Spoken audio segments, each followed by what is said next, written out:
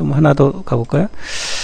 이제 R&D 계획에 한번 써먹는 걸 한번 생각해 보자고요.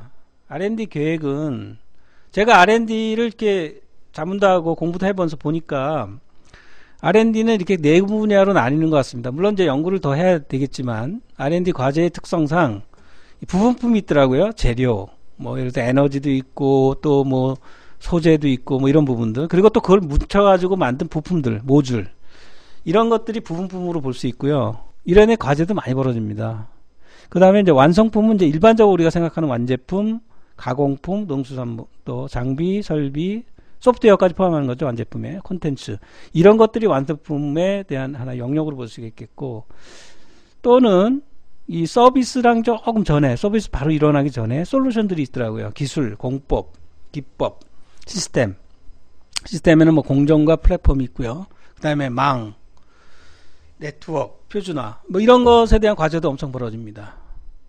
그 다음에 이제 마지막으로 서비스, 통신, 방송, 전자상거래 이런 것도 많고요. 금융, 관리, 교육 쪽도 있고 그 다음에 응용 서비스 그래서 이런 부분들이 과제의 특성상을 볼 땐 부분과 완성부가 솔루션과 서비스로 제가 나눠봤고요. 물론 이제 다르게 나누시는 분들도 있을 겁니다. 근데 제가 볼 때는 이런 부분이 있고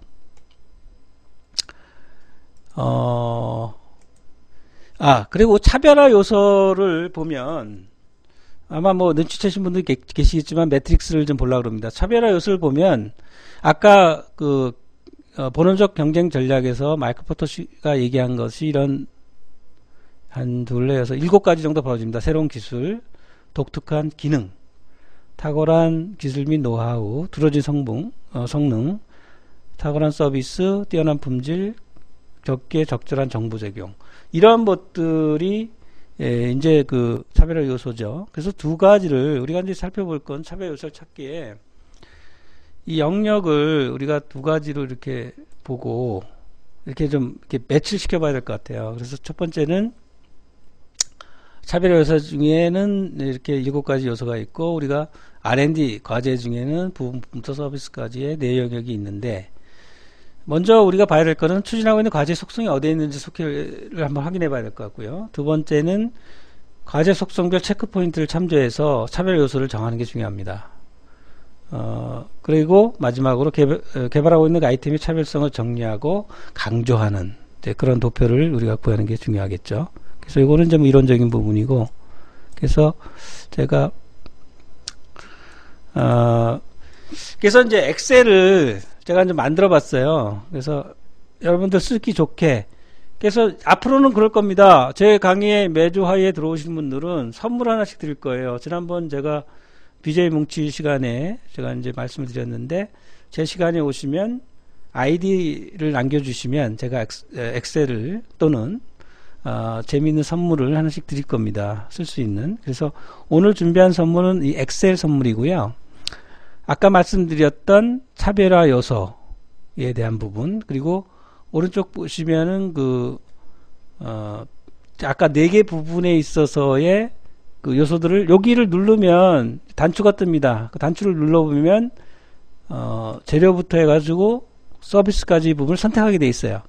그래서 어, 제가 그 두 요소를 매트릭스 만들어서 체크 포인트를 만들어 드렸어요. 그래서 요즘 뭐 바쁜 시간에 이거저거 다 읽어볼 수는 없으니까 이 체크 포인트를 가지고 어, 지금 사업화 계획서를 만드실 때 참고하시라고 이거 선물로 드릴 거고요 엑셀을 그래서 어, 다시 돌아가 보면은 엑셀로 그렇게 확인해 보시면 되는데 참고로 이렇게 말씀드리면 몇 가지만 어, 부분품은 넘어가고 완성품과 어, 서비스에 대한 부분만 잠깐 말씀드리겠습니다.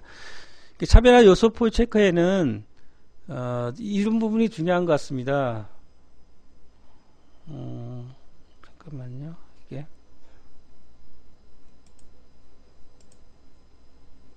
음. 완성품에는 기존에 없던 제품인가 이런 걸 살펴보는 게 중요합니다. 그래서 기능, 디자인, 가격, 서비스, 가치 인식 이게 소비자가 가치를 느끼는 게 중요하거든요. 그리고 독특한 기능인가 그러니까 기능이 새로 탑재된 것이 있는지 그리고 그 기능이 뭐 아, 무리 좋은 기능이라도 소비자한테 이익을 주지 않는 기능이 아니면 큰 의미는 없거든요. 그래서 이런 부분이 굉장히 중요하고. 그다음 성능도 중요한 게 수치로 표시할 수 있느냐입니다. 그래서 상업성장 기술과제 보시면은 그 안에도 성능을 수치로 측정하는 게 나와요. 그래서 뭐 거기에는 바우처를 써가지고선 뭐 20%까지는 뭐 성능 측정안을 그 recommend된 그런 기관들에 의해서 하는 것도 있고요.